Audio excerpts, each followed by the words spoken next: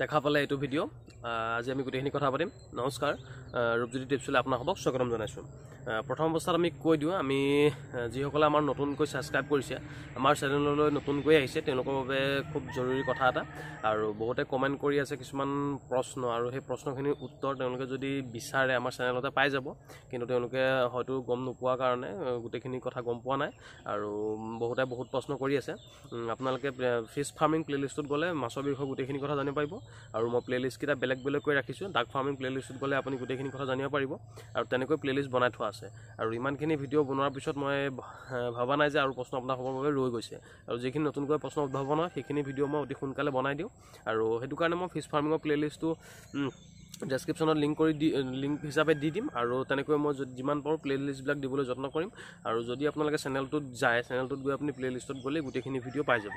আৰু আশা কৰিছোঁ আপোনালোকে সকলোখিনি উত্তৰ তাতে পাব বুলি। আৰু নতুনকৈ অহা ছাবস্ক্ৰাইবাৰসকলক আমালৈ আমাৰ চেনেললৈ স্বাগতম জনাইছোঁ। তেওঁলোক সংযোগ হৈ থাকক। আমি এইদৰে আগলৈকো কথা পাতি যাম। আৰু আজি আমি কথা পাতিম এজন খুব সুন্দৰ মীন পালক। তেওঁ প্ৰায় ন বছৰমান ধৰি মীন পালন কৰি কৰি আছে। আৰু তেওঁ মাছৰ ভিডিঅ'টো মই আপোনালোকক দেখাইছিলোঁ। খুব ধুনীয়া গ্ৰ'থ হৈছে তেওঁৰ মাছৰ আৰু তেওঁৰ ওপৰত যথেষ্টখিনি কথা মই আহৰণ কৰিলোঁ। তেওঁ যথেষ্ট মাছৰ বিষয়ে তেওঁ জ্ঞান আছে আৰু সেইখিনি কথা মোৰ লগত তেওঁ আলোচনা কৰিলে ময়ো কিছু কথা জনালোঁ তেওঁৰ পৰাও কিছু কথা জানিলোঁ। আৰু তেওঁৰ ঘৰ হ'ল বঙাইগাঁও আৰু তেওঁৰ নামটো হ'ল হেমন্ত সূত্ৰধৰ আৰু তেওঁ প্ৰায় ন বছৰ ধৰি মীন পালন কৰি আছে। আৰু তেওঁ পুখুৰীটো এ, পানী কালি বাৰিষা হ'লে বাইছ বিঘালৈকে পানী কালি বিয়পি পৰে।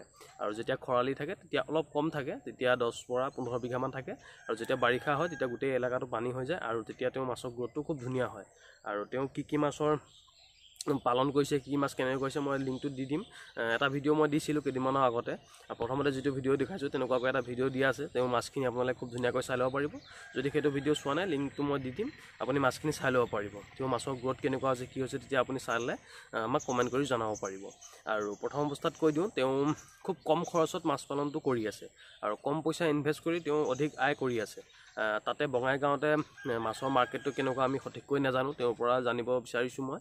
মাছৰ বজাৰটো তেওঁ খুব ভাল বুলি কৈছে চিতল মাছ পাঁচৰ পৰা ছশ টকা কেজি আৰু বাকী ভকুৱাবিলাক বা আমাৰ কাটলাবিলাক চাৰিশ টকা তিনিশ টকা আৰু ভাল গ্ৰ'থ হ'লে পাঁচশ টকালৈকেও যায় চাৰি কেজি পাঁচ কেজি ওজন হৈ গ'লে।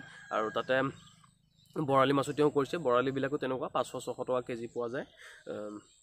সেই বিষয়ে আমি কথা আৰু যথেষ্ট সংখ্যক লোকে মোলৈ ফোন কৰি আছে আৰু ফোন মই কেতিয়াবা ৰিচিভ কৰিব নোৱাৰোঁ বা ক'ৰবাত থাকোঁ ব্যস্ত হৈ থাকোঁ আপোনালোকে জানে মই কেমেৰা ফটো মাৰিবলৈ যাওঁ ক'ৰবাত ক'ৰবাত আৰু বিভিন্ন নিজৰো কিছুমান কাম থাকে। সেইকাৰণে হয়তো মই ফোন ৰিচিভ কৰিব নোৱাৰোঁ এতিয়াও ফোন এটা আহি আছিলে কিন্তু মই যিহেতু আপোনালোকৰ সৈতে এইখিনি কথা পাতি আছোঁ মই ফোনটো ৰিচিভ কৰিব নোৱাৰিলোঁ এনেকুৱা যথেষ্ট সংখ্যক লোকে মোক বেয়া পায় চাগে কিন্তু আপোনালোকে যদি মেছেজ কৰে তেন্তে মই খুব ধুনীয়াকৈ আপোনালোকক ৰিপ্লাই দিব পাৰিম। আৰু অতি এনি টাইম মই কেতিয়াও ফোন ৰিচিভ কৰিব নোৱাৰোঁ আপোনালোকে সকলোৱে জানে সেই কথাটো। আৰু সেইটো কাৰণে মোক বেয়া নাপাব অনুগ্ৰহ কৰি আমি কথা পাতোঁ। তেওঁ প্ৰথম অৱস্থাত মীন পালন আগৰ পৰাই যিহেতু কৰি আছে তেওঁ যথেষ্টখিনি জ্ঞান আছে। আৰু সেই জ্ঞানৰ অধিকাৰী হৈ তেওঁ মীন পালনত কোনো ধৰণৰ অসুবিধা পোৱা নাই। আৰু আমাৰ চেনেলটো যেতিয়া তেওঁ পালে আমাক খুব ভাল পাইছে। তেওঁ মোক যথেষ্ট পৰিমাণে ধন্যবাদ জনাইছে। মোক ময়ো তেওঁক ধন্যবাদ জনাইছোঁ। তেওঁ কথাখিনি মোক জনোৱাৰ বাবে। তেওঁ কৈছে যে মীন পালনত আমাৰ ইয়াতে এইট্টিৰ পৰা আমি ছেভেণ্টিৰ পৰা এইট্টি পাৰ্চেণ্ট আমি লাভ কৰি আছোঁ। মানে কম খৰচ আমি কৰি আমি বেছি পৰিমাণৰ উপাৰ্জন কৰোঁ। আৰু তেওঁ জনোৱা মতে তেওঁ প্ৰায় ত্ৰিছ হাজাৰমান টকা টোটেল মাছ আৰু দানাত ইনভেষ্ট কৰিছিলে।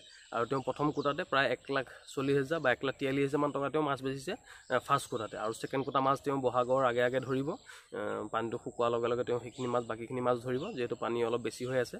আৰু পানীখিনি কমাৰ লগে লগে সেইখিনি মাছ ধৰিব আৰু তেতিয়া তেওঁ যথেষ্ট পৰিমাণে আৰু পইচা পাব। তেওঁ ত্ৰিছ হাজাৰ টকা এটা পোনা আৰু দানাত খৰচ কৰিছিলে। আৰু দানাত তেওঁলোকে খৰচ খুব যথেষ্ট পৰিমাণে কম খৰচ হয়। আৰু ৰাইচ পলিচটো তেওঁ খুৱাইছিলে। ৰাইচ পলিচটো তেওঁ অলপ খোৱালে আৰু তাৰপিছতে যেতিয়া বাৰিষা পানী আহি যায় সেই পানীখিনি যেতিয়া তেওঁ পুখুৰীত সোমাই যায় সোমাই যোৱাৰ পিছত আহ, পাৰ দি তেওঁ নেট লগাই দিয়ে ছাইডত নেট লগাই দিয়ে যাতে মাছ ওলাব নোৱাৰে আৰু পানীটো তেওঁ সোমোৱাই দিয়ে।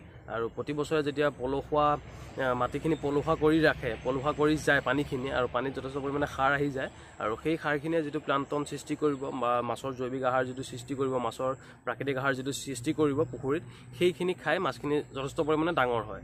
আৰু তেওঁ ছয়মহীয়া সাতমহীয়া আঠমহীয়ালৈকে কালচাৰ কৰে আৰু সাত আঠ মাহত তেওঁ খুব ধুনীয়া মাছৰ গ্ৰোথ পাই আছে। আৰু কাটলা কাটলাবিলাক তেওঁ তিনি কেজিলৈকে হৈছে আৰু বিগ হেডবিলাক দুই কেজি আঢ়ৈ কেজি চিতলবিলাক ডেৰ কেজি দুই কেজি আৰু কিছুমান অলপ অলপ দুই এটা সৰু থাকিব এইটো ইমান কথা নাই। আৰু বৰালি কিছু কিছু তিনি কেজি চাৰি কেজিলৈকে হয়। আৰু তেওঁ মাছৰ যিটো ছিষ্টেম তাতে তেওঁ দুশৰ পৰা আঢ়ৈশ পিছমান তেওঁ চিতল মাছটো এৰে বাকী কাটলা আছে ৰৌ মিৰিকাখিনি অলপ এৰে আৰু বাকী তেওঁ বৰালি অলপো এৰি দিয়ে দহটা পোন্ধৰটা এনেকুৱা বৰালি এৰি দিয়ে যাতে গোটেই এলেকাটো তেওঁলোকে ঘূৰিব পাৰে আৰু দানাত খৰচটো কম হোৱাৰ বাবে তেওঁ মাছ পালনত যথেষ্ট পৰিমাণে লাভ হৈছে। আৰু আমি যিহেতু দানাত যথেষ্ট পৰিমাণে খৰচ কৰিব লগা হয় আমাৰ ইয়াতে বানপানী নহয় বা পানীৰ তেনেকুৱা অহা ছিষ্টেম নাই আমাৰ ইয়াতে। আৰু আমি যিটো আহাৰ ইহঁতক যোগান ধৰোঁ সেইটো খাই সেহেঁত ডাঙৰ হয় মাছবিলাক। আৰু সেইটো কাৰণে তেনেকুৱা আপোনালোকৰ ঠাইতো যদি বানপানী হয় তাৰ বাবে আপুনি খুব ধুনীয়াকৈ পানী সোমোৱাৰ ব্যৱস্থা আৰু ওলোৱাৰ ব্যৱস্থা ৰাখিব। আৰু এই ব্যৱস্থাটো ৰখাৰ পিছত আৰু কিছুমান অসুবিধা দেখা যায়। আৰু সেই অসুবিধাৰ ভিতৰত প্ৰধান হ'ল যদি আপোনাৰ পানীটো বেয়া পানী সোমাই যায় বেয়া পানী সোমাই যোৱাৰ লগে লগে আপোনাৰ মাছত বিভিন্ন ধৰণৰ বেমাৰ লাগি যাব। সেই সমস্যাৰ তেওঁ সন্মুখীন হৈছে আৰু তেওঁ তেতিয়া মাছখিনি ইমিডিয়েট তেওঁ মাছখিনি ধৰি পেলাই আৰু ধৰি লোৱাৰ লগে লগে পটাছ দি ধুৱাই দিয়ে নাইবা যিখিনি মাছৰ বেছিকৈ বেমাৰ লাগে সেইখিনি মাছ উঠাই পেলাই উঠাই দিয়ে। আৰু যিখিনি থাকি যায় সেইখিনি মাছক খুব ধুনীয়াকৈ ট্ৰিটমেণ্ট কৰি ৰাখে আৰু সেইখিনি মাছ তেওঁ ডাঙৰ কৰে। সেইটো এটা অসুবিধা দেখা যায় পানী সোম বাহিৰৰ পৰা সোমোৱাৰ ফলত। আৰু আমি যিহেতু শুকানকৈ কৰি আছোঁ এটা পানী তেনেকুৱা অহা ব্যৱস্থা নাই। আমি যিটো দানা দিম বা যিটো সাৰ দিম সেইটোৰ পৰাই মাছে আহাৰ গ্ৰহণ কৰিব লাগিব আৰু সেয়া খাই মাছ ডাঙৰ দীঘল হ'ব লাগিব। আমাৰ ইয়াতে ফৰ্টিৰ পৰা ফিফটি পাৰ্চেণ্ট আমাৰ খৰচ হৈ যায় আৰু তাতে তেওঁলোকৰ টুৱেণ্টিৰ পৰা থাৰ্টি পাৰ্চেণ্ট খৰচ হয় বাকীখিনি তেওঁলোকৰ লাভ হয়। আৰু তেওঁ কৈছে যে মীন পালনৰ কোনো ধৰণৰ তেনেকুৱা অসুবিধা মই এতিয়ালৈকে পোৱা নাই যিহেতু মই বহু বছৰ ধৰি মীন পালন কৰি আছোঁ। প্ৰধান সমস্যাৰ ভিতৰত তেওঁ কৈছে মাছৰ দুই এটা বেমাৰ হয়। সেই বেমাৰকেইটাৰ কাৰণে প্ৰটেকশ্যন দিবলৈ হ'লে পানীখিনি আপুনি অলপ পানী উলিয়াই দিব অলপ পানী সোমোৱাই দিব চূণটো ৰেগুলাৰলি ইউজ কৰি থাকিব আৰু মাছৰ পোনাটো সঠিক হৈছেনে নাই খুব ধুনীয়া কোৱালিটিৰ পোনা হৈছেনে সেই কথাটো আপুনি ধ্যান ৰাখিব লাগিব প্ৰথম অৱস্থাত। আৰু যিসকলে নতুনকৈ মীন পালন কৰিম বুলি ভাবি আছে আশা কৰোঁ এশৰ অধিক মই ভিডিঅ' বনাইছোঁ এইখিনি ভিডিঅ' আপোনালোকক অকণ হ'লেও সহায় কৰিব। আৰু নতুনকৈ অহা ছাবস্ক্ৰাইবাৰসকলক মোৰ এটাই অনুৰোধ তেওঁলোকে ভিডিঅ'খিনি চাই পেলাই যাতে কমেণ্ট কৰে। আৰু সকলো প্ৰশ্নৰ উত্তৰ আপোনালোকে তাতেই পাই যাব। আৰু বাকী যদি কিবা প্ৰশ্ন ৰৈ যায় তেন্তে ফেচবুক পেজত মোক মেছেজ কৰিব মই যিমান পাৰোঁ আপোনালোকক সহায় কৰি দিম। আৰু আজি ভিডিঅ'টোত এইখিনি কথাই পাতিলোঁ। কিবা যদি কথা ৰৈ গৈছে নেক্সট আমি আকৌ এটা পাৰ্ট বনাই কথা পাতিম। আৰু যিহেতু বেছি ভিডিঅ'টো দীঘল নকৰোঁ সেইকাৰণে এইখিনি কথাই পাতিলোঁ। নেক্সট আমি সকলোখিনি কথা আগলৈকো পাতি যাম আৰু যিকোনো প্ৰশ্ন থাকিলে আপুনি কমেণ্ট কৰিব। আৰু তেওঁ যিহেতু থা ত্ৰিছৰ পৰা চল্লিছ হাজাৰ টকা এটা খৰচ কৰি প্ৰথম কোজাতে তেওঁ এক লাখ তিয়াল্লিছ হাজাৰ টকা মাছ বেচিছোঁ বুলি আমাক জনাইছে। মানে চল্লিছ হাজাৰ টকা খৰচ হ'লেও তেওঁ এক লাখ টকা এফালে জমা আছে। আৰু নেক্সট যেতিয়া তেওঁ মাছ বেচিব তাত আৰু তেওঁ ডেৰ লাখমান টকা এটা পোৱা আশা কৰি আছে।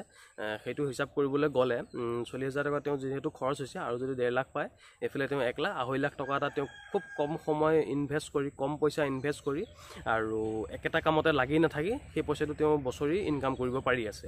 আৰু সেইকাৰণে তেওঁক আমি অশেষ ধন্যবাদ জনাইছোঁ তেওঁ কথাখিনি আমাক জনোৱাৰ বাবে। আগলৈকো আমি এইদৰে কথা পাতি যাম। আৰু আপোনালোকৰ যিকোনো প্ৰশ্ন থাকিলে কমেণ্ট কৰিব আমি সকলো প্ৰশ্নৰ উত্তৰ দিবলৈ যত্ন কৰিম। লগতে যি বেছিকৈ কমেণ্ট আহিলে সেই টপিকটোৰ ওপৰত মই ভিডিঅ' বনাইও কথা পাতিম।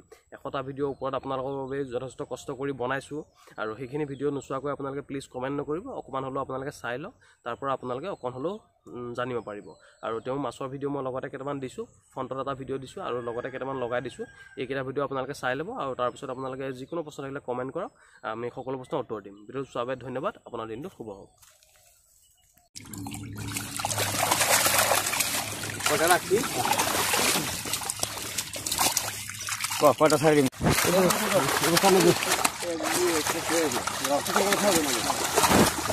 বল ছিল না না বল না সরি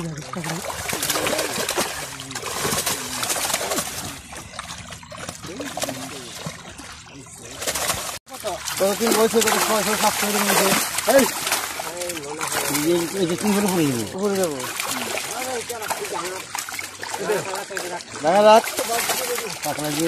করে নিয়েছে কিন্তু কোট দেখিল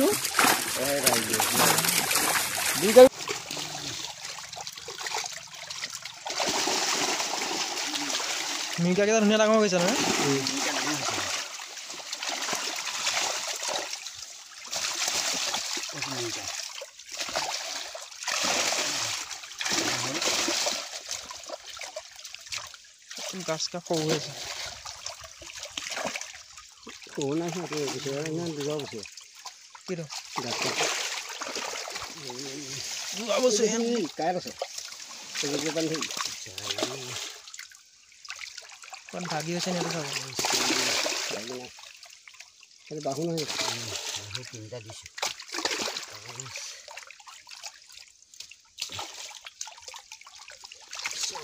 গাছ কাটি হৈছে